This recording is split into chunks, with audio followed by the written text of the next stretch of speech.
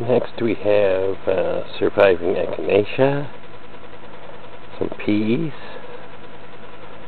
surrounding shallots and uh, cleosea, delicious and nutritious shallots that is. Here's some uh, oregano and sage in the shade with a lemon balm back here and that's the wonderberry. Got some carrots growing up next to it under the cage. Here we got verbenias and more wonderberries and some peppers are probably won't give me peppers. More lemon balm in the shade, some peppers. The long